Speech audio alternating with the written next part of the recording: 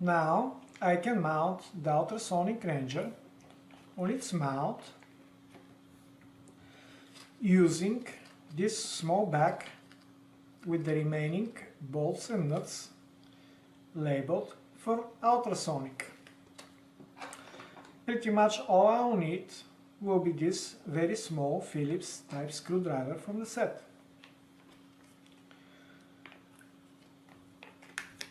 In this version 3 of the Elegoo kit we have a brand new type of mount for the ultrasonic ranger which has built-in spacers lifting the ultrasonic ranger from the surface.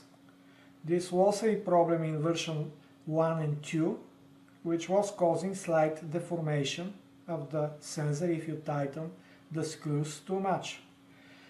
Here we also will not need any more seats in order to mount the mount on the servo. It is designed directly to be inserted and mounted on the servo. This is another very nice new feature in version 3 of the kit. I'll take out the ultrasonic sensor from its back.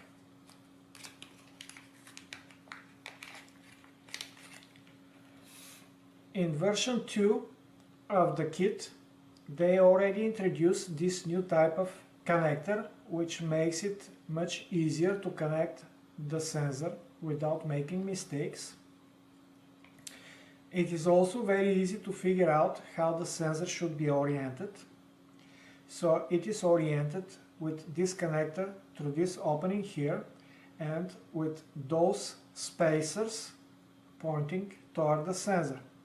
In the old version it was sometimes difficult to decide if you want to mount the sensor like this or like this. Here it's pretty obvious what is the right way to mount it.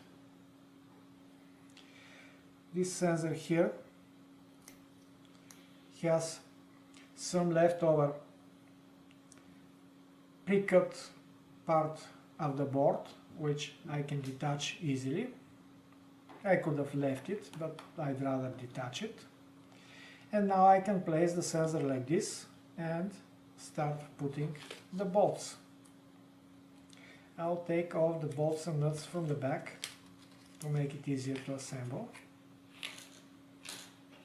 There is at least one extra bolt from what I can see. Take one of the bolts, they're really small, and insert it through the small opening, small hole in the corner of the cell and you can use the screwdriver to drive it through.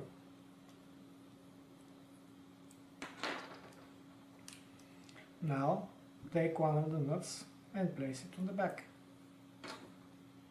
Use the screwdriver to tighten the bolt. I'll try to use the slightly bigger screwdriver, it may be easier to use, we'll see. It's also included in the set. Yes, this screwdriver will work equally well. So I'll take the second bolt, insert it through the hole,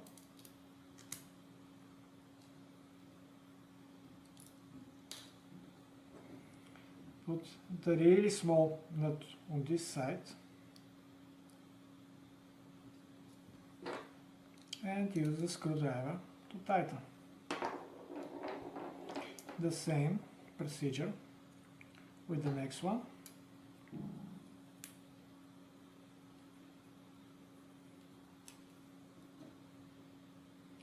Put the nut, tighten, do not want over tighten so we can do the last one and yes, as I mentioned, they have included one extra spare bolt, which is nice. Add the nut.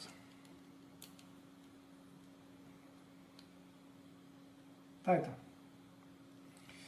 Since we have spacers, unlike with the previous two versions of the robot, we can tighten completely and not to worry that the ultrasonic ranger board will get damaged from the twisting.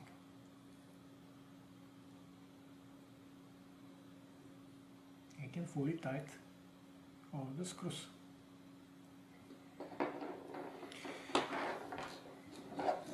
And the ultrasonic ranger mount is completed and ready to be mounted on top of the servo.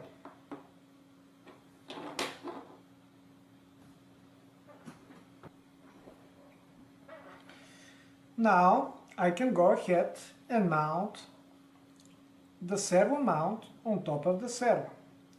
In general, it is best if you first connect everything else and use Arduino to zero the position of the servo.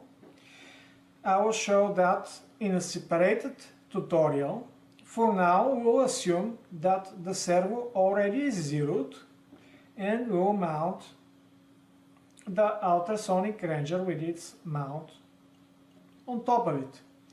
If you mount it without the servo being zeroed, the mount where the servo is in, in neutral middle position may be positioned under some angle, but don't worry, it will be easy to take it out, position it properly and mount it again. So don't worry if you mount it incorrectly, you can always correct for that. In this version of the kit, version 3, we don't need to use the seats anymore in order to mount the mount with the ultrasonic ranger on top of the servo. It is designed directly to be plugged on top of the servo. All we will need is from the back of parts for the servo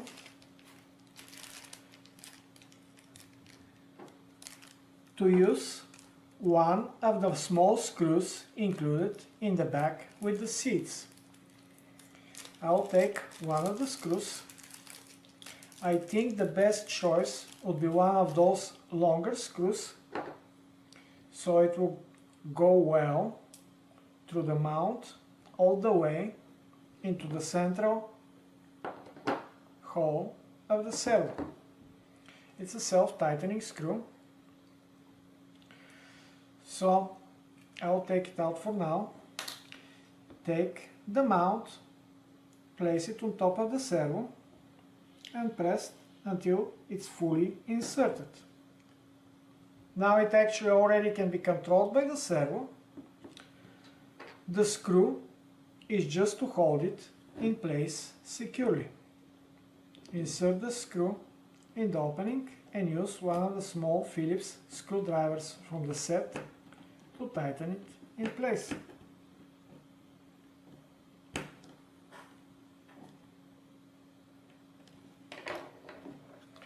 And it is ready.